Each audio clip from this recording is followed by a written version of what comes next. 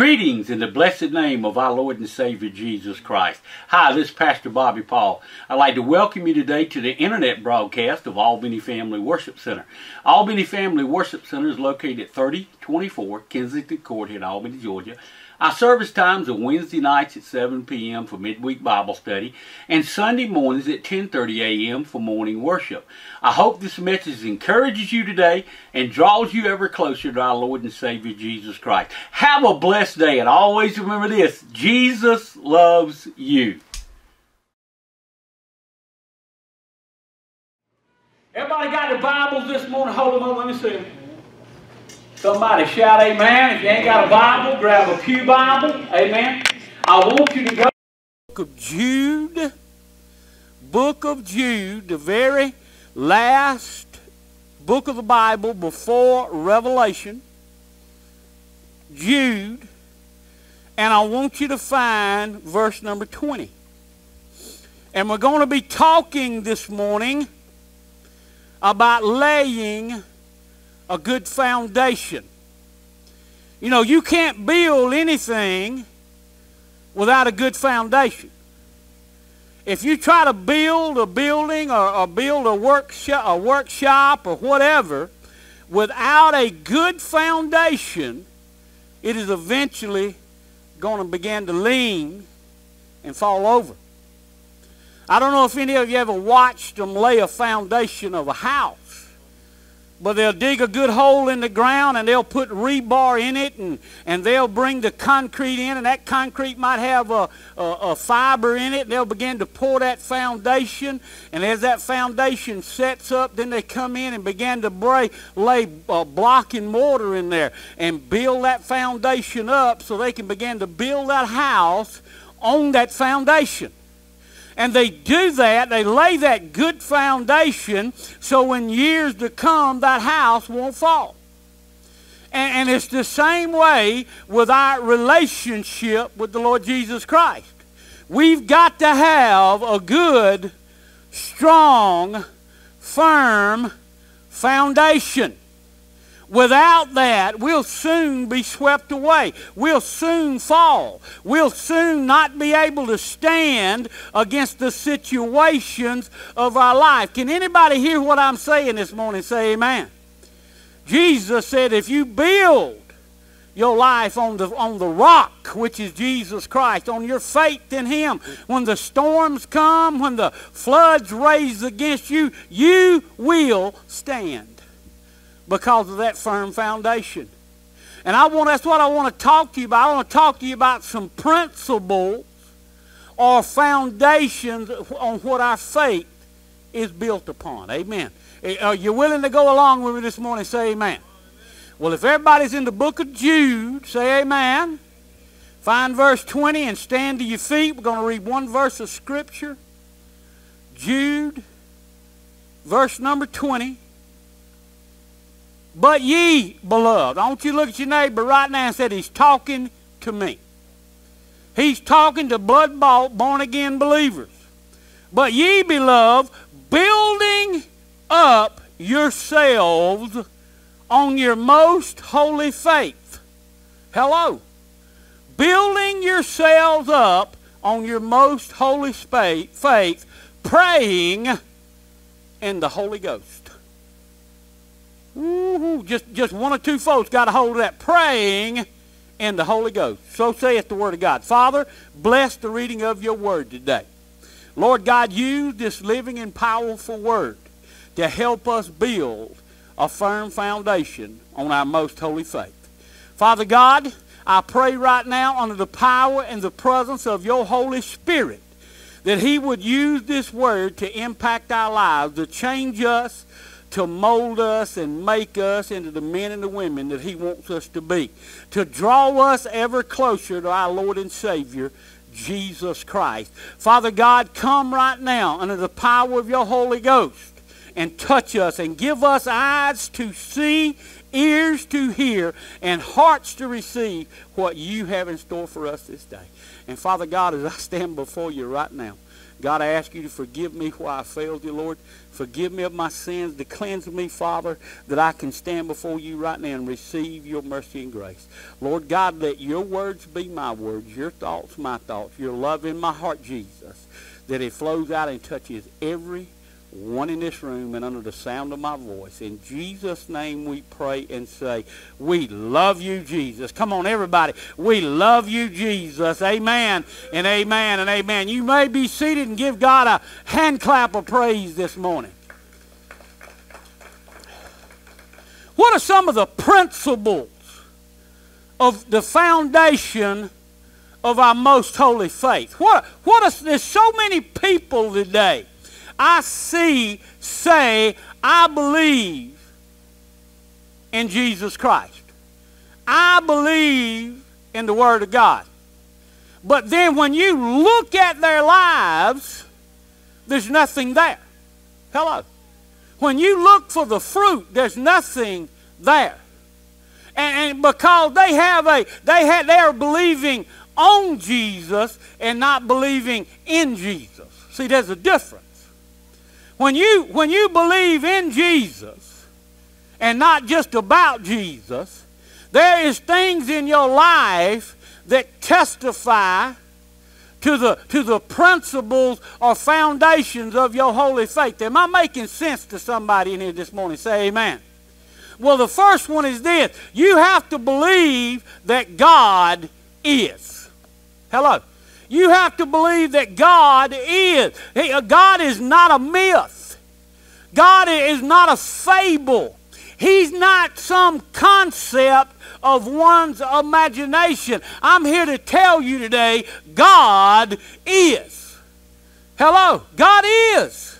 It says in Hebrews 11 6, but without faith it is impossible to please him. For he that cometh to God must believe that he is, that God is real, that God's not just some nice idea, God's just not some uh, imaginary fable or myth to make you feel good, but God is. God is the one that created the world and the universe and all things in it, not some Big Bang theory. Hello? I've never understood that. Because if I remember my first grade math, uh, nothing and nothing equals nothing. You got to have something. Amen. And that something was God when he said, let there be light. And he began to create. Amen. Because God is. And just as he worked in the beginning, he'll work right now in your life. Because, see, that's the kind of God he is. He is God. He is the maker. He is the creator. He is the savior. He is the rescuer. He is the deliverer. He is the healer. He is your all in all. Amen. Can somebody hear what I'm saying today? Jesus said in John 8 51, when he was talking to the religious leaders of the day, he said, Verily, verily, I say unto you, before Abraham was, I am. He was claiming to be God. Amen? Because he was God. Amen. God is today. There's, there's no misconception about that. God told Moses in Exodus 3.14, and God said unto Moses, I am that I am. And he said, that thus shalt thou say unto the children of Israel, I am hath sent me. Do you hear what I'm saying? I am that I am the great I am. In other words, you can translate it as this God is what you need Him to be in the greatest hour of your need because God is. Can somebody hear what I'm saying today? God is eternal and everlasting. There is no beginning and there is no end. He goes on forever and ever, ever. He's better than that little Energizer bunny beating that drum. Amen. That little Energizer bunny just keeps going and going. God keeps on going and going and going till everything else is gone. Amen. And He always has been. There never was a time when there wasn't God. Do you understand what I'm saying? He's eternal. He's from everlasting. Psalm 41 13. Blessed be the Lord God of Israel from everlasting to everlasting. Amen and amen. Psalms 106, 48. Blessed be the Lord God of Israel from everlasting to everlasting. And let all the people say, Amen. Praise ye the Lord. See, we serve an everlasting God. He was before the beginning of time, and He will be here after everything is long gone. He is. It says in Revelations 1 8, I am the Alpha and the, and, the, and the Omega, the beginning and the end, saith the Lord, which is, and which was, and which is to come, the Almighty. He is, He is, somebody say, God is. God is the everlasting God. The second thing you need to know is this God never changes. Hello? God never changes. There's never any, there's never any changing in God. It says in Malachi 3 6, For I am the Lord, I change not. Do you hear what I'm saying? I change not. God does not change. Hebrews 10, uh, uh, Hebrews 1, 10 through 12 says this, And thou, Lord, in the beginning hast laid the foundation of the earth, and the heavens are the works of thy hands. They shall perish, but thou remainest. And they all shall wax old as doth a garment.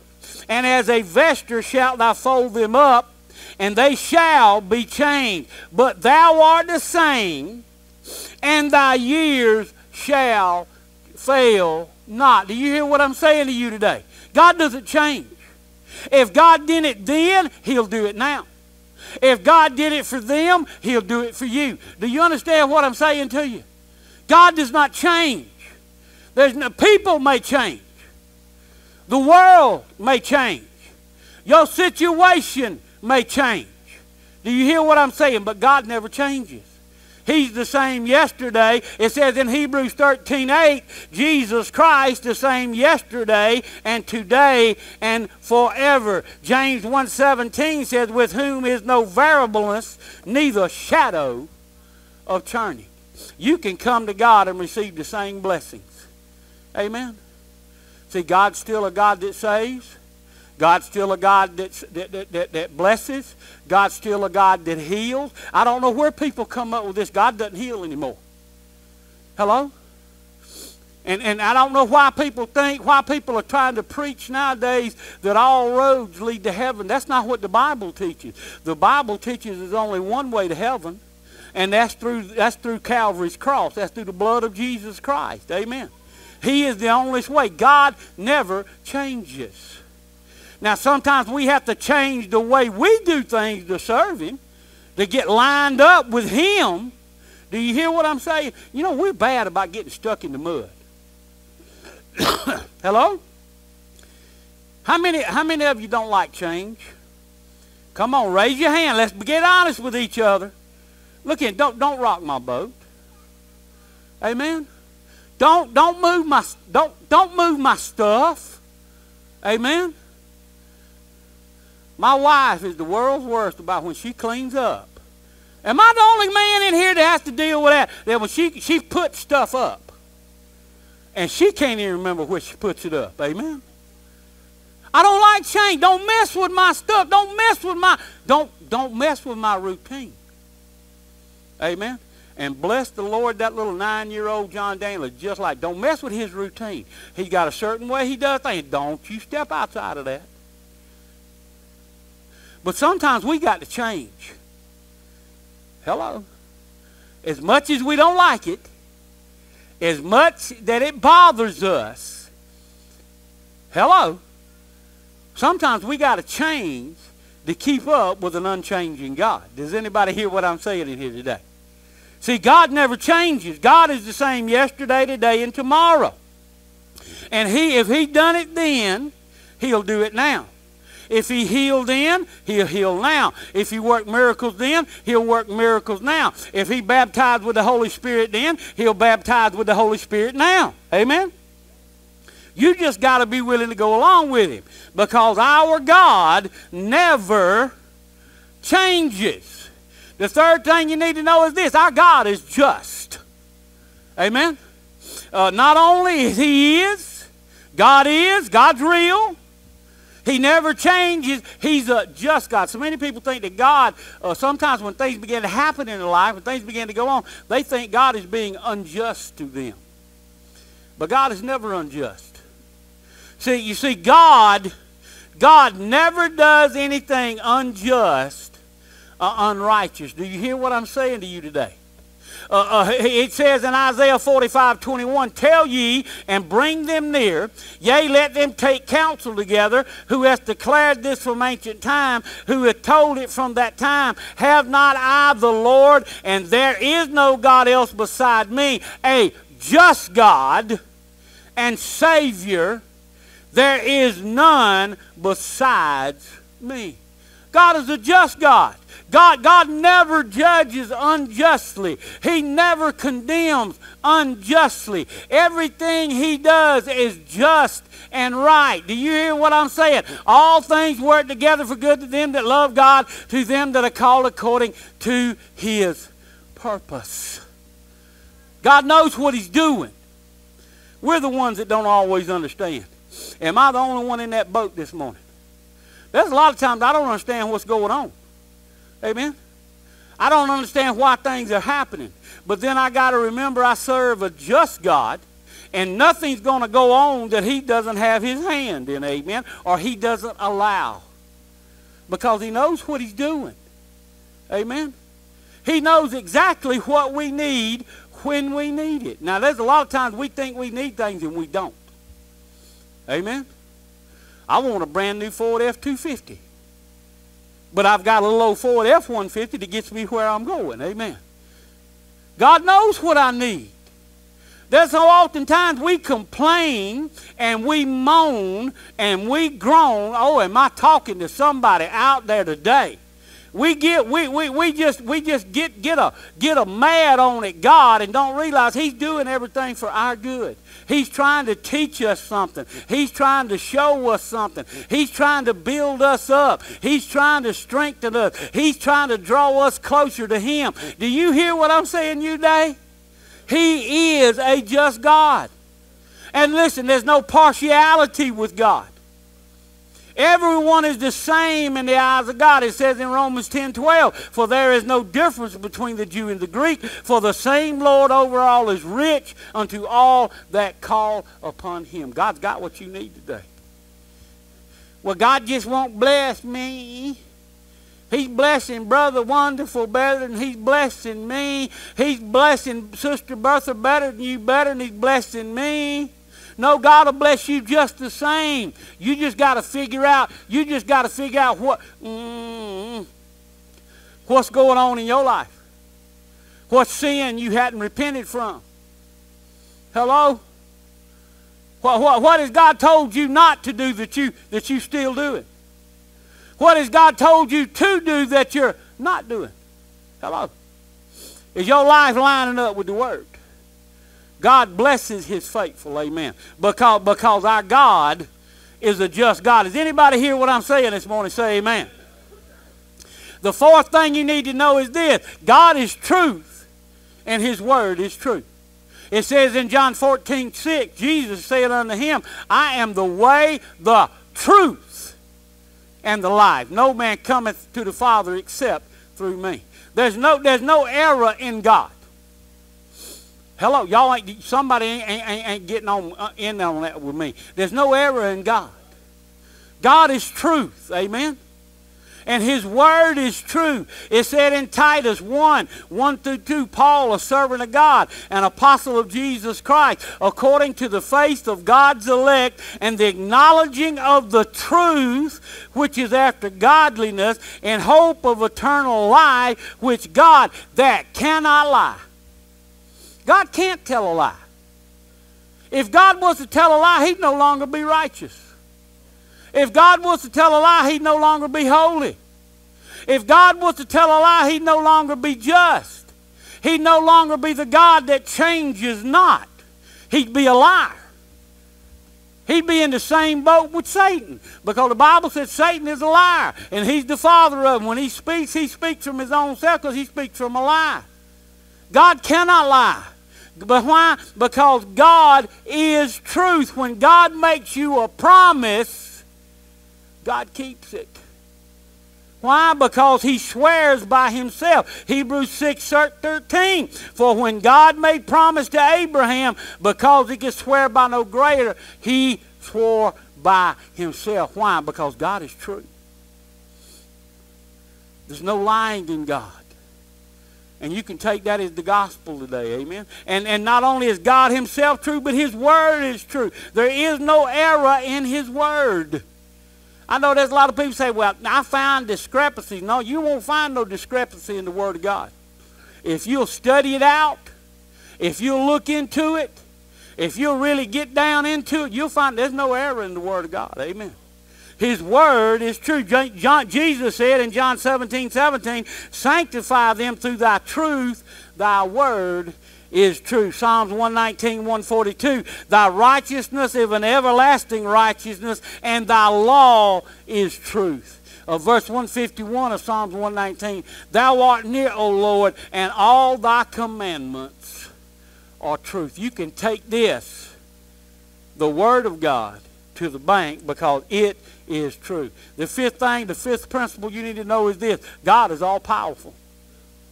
Hello, somebody hear me today. God is all powerful.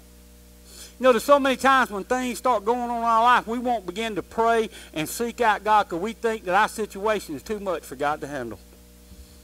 Hell, is somebody hearing me right now? We think that God can't handle our situation because our faith is not strong enough to believe God for the miracle. Hello? I got news for you today. You can go with God just as far as you will and let your faith take you. Amen? Somebody hear me. Because our God is an all powerful God. I want to say that again. Our God is an all powerful God. There is nothing greater than God. There is no sin too big He cannot forgive you for. There is no problem too complicated that He cannot deliver you from. Do you hear what I'm saying today? Luke 137, for with God nothing shall be impossible. Hello. Now I like that, knowing I serve a God that's so powerful, nothing is impossible for him today. Amen. That no matter what I face pales in comparison to my God. It says, it says in Matthew 19, 26, But Jesus beheld him and said unto them, With men this is impossible, but with God all things are possible. Listen, there's things impossible for us earthly men, for us fleshly men. But with our righteous, holy, and just God, who is all powerful, nothing is beyond his reach, his scope, or his ability to accomplish. We serve a can do God. Can somebody hear what I'm saying today? John 4, 1 John 4, 4. Why, why is that? Why is that a God? Why is there nothing impossible in our life with God? 1 John 4, 4 answers that question for us is this. Ye are of God, little children, and overcome and have overcome them, because greater is he that is in you than he that's in the world. You know, we have a bad habit sometimes of, come on now. Everybody listen to me. You need to write this one down. We have a bad habit sometimes of telling God how big our problems is. If we stop and turn that around and start telling our problems how big our God is, we see a difference. Amen. Come on now. Start telling, hey, my God, my, my God's bigger than you. My dad, my, my daddy's bigger than your daddy. How many of you as a kid, somebody messing with you, you told them that? You better be careful. My daddy's bigger than your daddy. Well, guess what? My daddy's bigger than all. Amen. There's nothing impossible. Greater is he that's in you than he that's in the world. Do, do you understand that this morning? One person does. Amen. There's nothing, is there? Listen, listen, there's nothing you face that God can't get you through. Because greater is He that's in you than he that's in the world. Amen. I thank God for that today. That there's nothing I face. There's no trial I go through. There's no storm that blows. There's no problem that arises. There's no financial difficulty. There's no, there's no sickness. There's no trouble in the family. There's no trouble at work. There's no trouble in the friendship. There's no trouble. There's no trouble. There's no trouble that my God can't handle for me when I cast all my cares on Him because He cares for me. Does somebody hear what I'm saying? The, ooh, but the probably won't get our hands off of it sometimes. We got any fixers in the house? Come on now. Likes to fix everything. Hello? Come, I, I can't, y'all don't look at me so sanctimonious. Y'all know what I'm talking about. You want to fix every situation. Amen. You meddle in every. Oh, woo! Get away from it. You can't do nothing about it. Hello? Is somebody hear what I'm saying this morning? There ain't nothing you can do about it. You just need to let God have it, amen, because nothing's impossible. When, when you don't let God have it completely, you're telling God, well, you know, Lord, I, I don't believe you can do what, what you said you can do in my life. He can do anything. Because greater is he that's in you than he that's in the world. If you believe that, give God a hand clap of praise this morning. Next thing you need to know is this. Our God is a faithful God. Hello. Our God is a faithful God. You can depend on Jesus when you can't depend on nobody else. How many you know that, that, a, that a person's going to let you down at some time? I don't care if it's your wife, your husband, your best friend, uh, uh, uh the person you've worked for for 30 years, the person you've worked beside for 40 years, they're going to let you down one day. They may not do it on purpose, but they'll let you down. They'll break your heart. Ain't no heartbroken uh, folks in there ain't never had the heart broke, is they? Come on. Folks will hurt you, whether by accident or by meanness. But Jesus, you can always depend on Jesus. It says in Hebrew 13, 5, 6, let your, conversa- let your conversation be without covetousness and be content with, be content with be content with. I want to say that again because somebody's going to hear me when I do. Be content with such things as ye have.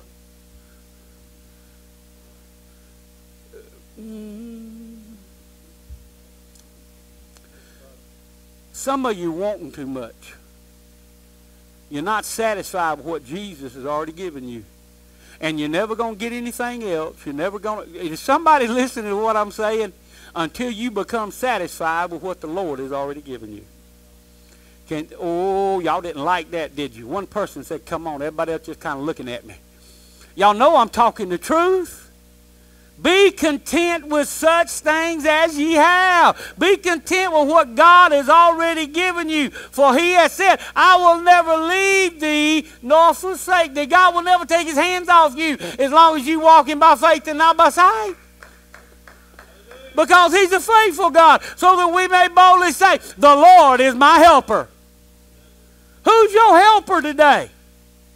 Who's seeing you through today? Do you realize, do you realize, do you realize that if God's hand wasn't on your life? Do you realize that? If God's hand wasn't on your life, where would you be right now? Most of us be dead. Amen. Most of us, most of, oh, somebody come on. We're only Him because God's watching over us. Amen. The Lord is my helper. I like, I like being helped. Amen. There's a lot of times I face things, I don't know about that. There's a lot of times I face things I ain't never faced before.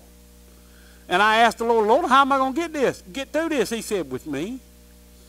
Amen and he goes on and does what he says he's going to do. He helps me. He sees me through it as long as I learn to be content. It says in 2 Thessalonians 3 3, but the Lord is faithful. But the Lord is faithful, who shall establish you and keep you from evil. God's going to watch over you. He's a faithful God. He ain't called you out to watch you drown, honey. He ain't called you out to watch you fail. He's called you out to prosper. He's called you out to succeed. Do you hear what I'm saying to you in here today? Because that's the kind of God He is. You might have to face hard times. Hello? You might have to face hard times. But Jesus will always be there to calm your storm. It says in Hebrews 10 23, let us hold fast the profession of our faith without wavering, for he is faithful that promised. When, when Jesus called the disciples to get in the boat to go to the other side of the sea, he knew that storm was coming. And as they crossed that sea, and that and that and, a, and, and, there arose a great storm of wind, and the waves beat into the ship, so that it was now full. He was in the hinder part of the ship, asleep on a pillow, and they awake him and say unto him, Master, carest thou not that we perish? And he arose and rebuked the wind and said, Peace, be still. And the wind ceased, and there was a great calm. If you'll depend on Jesus, he'll calm your storm today. Quit running around like a chicken with your head cut off. You know, we make fools of ourselves. Mm, didn't like that, did we? We make fools of ourselves so oftentimes that when them storms come up, we start going crazy, running here and running there, trying this and trying that, and nothing happens, and we just get in a work of predicament where we just stop and cried out to Jesus. He stood up in the bow of our boat and said, Peace be still. And there would have been a great calm. Amen. He said, My peace I give unto you. He'll give you peace today. We just got to be willing to, to let him have control. When Peter walked on that water, when, when the storm rose up and the disciples in the boat by themselves, and Jesus began to walk across the waves towards them, and they saw and everybody looked at him and got afraid. But Peter looked at him and said, Lord, if it be thou, bid me come unto thee on the water. And he said, Come. And when Peter was come down out of that boat, he walked on the water to go to Jesus. But when he saw the wind boisterous, he was afraid and beginning to sink, he cried, saying, Lord, save me. See, that's the problem. When things go to getting windy, when things go to getting rough, when things start to happening now, we get afraid.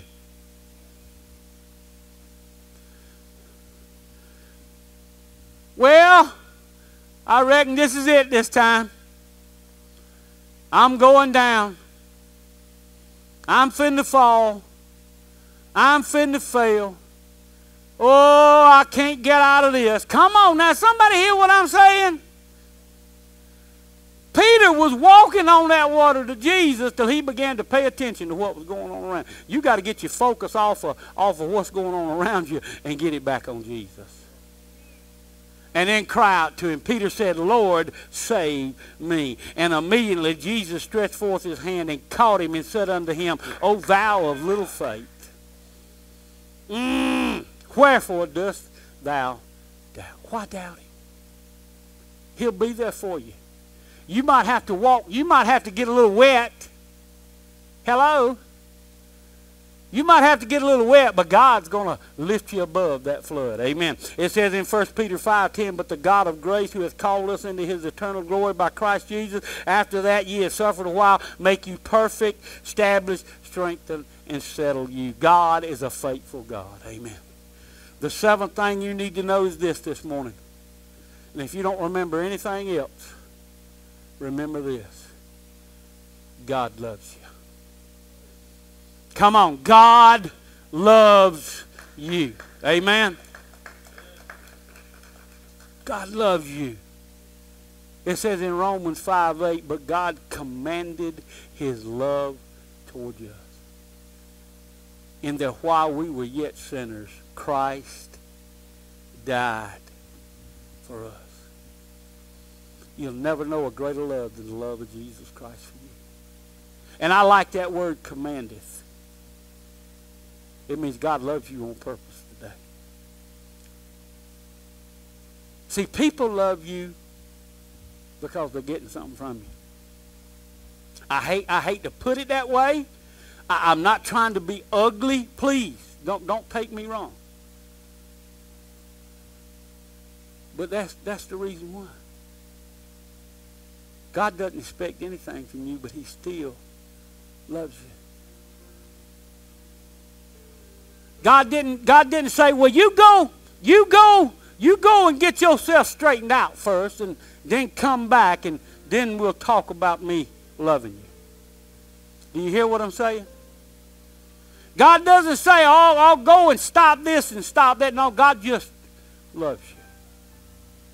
Even when you was dead in trespass and sin, God loves you. It says in 1 John 4, 9 through 10, In this was manifested the love of God towards us, because that God sent his only begotten Son into the world that we might live through him. Herein is love, not like that we loved God, but that he loved us and sent his Son to be the propitiation of our sins. God loved you when you was unlovable. And he proved it. For God so loved the world that he gave his only begotten Son, that whosoever believeth in him should not perish, but have everlasting life. For God sent not his Son into the world to condemn the world, to condemn you, but that the world through him might be saved. See, God loves you so much, God wishes for no person, no man, no woman to perish, but that all might come to the knowledge of the truth. First Peter, 2 Peter 3 9, the Lord is not slack concerning his promises, as some men count slackness, but is long suffering to usward, not willing that any should perish, but that all should come to the repentance. 1 Timothy 2 4, who will have all men to be saved and come unto the knowledge of the truth. And what is that truth today? That we're all sinners, dying and going to hell unless Jesus Christ intervenes. Romans 3, 10 through 23 says, As it is written, there is none righteous, no, not one. For we've all sinned and fallen short of the glory of God. For the wages of sin is death, but the gift of God is eternal life through Jesus Christ. Have you received that gift of God today? Have you been born again a child of the Most High God? Are you building on a foundation of faith in your life? Is he the God that is in your life? There can be no, no other. He must be your God today. And he's a God that never changes. He's the same yesterday, today, and tomorrow. You got to believe that. And you got to believe that he's just and righteous. That he is what he says he is. And that he's true and that his word is truth. There's no error in it. And that he's all powerful. There's nothing impossible for God in your life. That he is faithful to you no matter what. And that he loves you today. And if you'll just if you'll just confess with your mouth the Lord Jesus and shall believe in your heart that God has raised him from the dead, you will be saved today. You will be rescued today. You can be born again today. For with the heart man believeth unto righteousness, and with the mouth confession is made unto salvation. Are you willing to do that today? Are you willing to kneel down before a mighty God and say, Lord, I believe you died for me that you were buried and that you rose again on the third day. I believe that you, are, you have ascended into heaven and now seated on the right hand of the Father, making intercession for me daily. Right now, Jesus, I confess all my sins to you. And I ask you to forgive me and to cleanse me and to come into my heart and be my Lord and Savior forevermore. If you'll do that right now, you'll start a journey with a firm foundation, with a good foundation, and build up with the things that we've talked about this morning.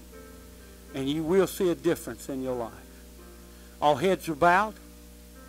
All eyes are closed. There's nobody looking around. This is your time with God. Will you come this morning? Will you come and kneel down on the foundation which is Jesus Christ this morning? There is no other. It must be upon Jesus. It must be upon your faith in him today. And begin to build on your most holy faith. Hi, this is Pastor Bobby Paul again. I hope you enjoyed today's message. It has encouraged and drawn you ever closer to our Lord and Savior Jesus Christ. And there may be some of you out there today that's made a decision of faith. That is the decision to receive Jesus Christ as your Lord and Savior. And it's so simple to do today. The Bible teaches us that if we'll just confess with our mouth and believe in our heart the Lord Jesus Christ, you shall be saved. For whosoever calls upon the name of the Lord shall be saved. And you can call upon him right now by saying this simple prayer faith. Say, Dear Lord Jesus, forgive me, a sinner. Right now, Lord, I turn from sin and self, and I turn to you, Jesus, and I ask you to come into my heart and be my Lord and Savior. Lord Jesus, I give you all authority, control, and care of my life. Be my Lord and Savior forevermore. I love you, Jesus. Amen. If you just said that prayer, you just become a blood-bought, born-again child of God. And we would love to hear your decision here at Albany Family Worship Center. And here's how you can contact us. You can write us at Albany Family Worship Center, 3024 Kensington Court, Albany, Georgia, 31721. You can send us an email, and our email address is my afwc at gmail.com. That's M-Y-A-F-W-C at gmail.com. Or you can call us at 229 434 0342. We're looking forward to hearing from you today, and we would love for you to come and visit. We'd love to meet you and the family. Have a blessed day, and always remember this Jesus loves you.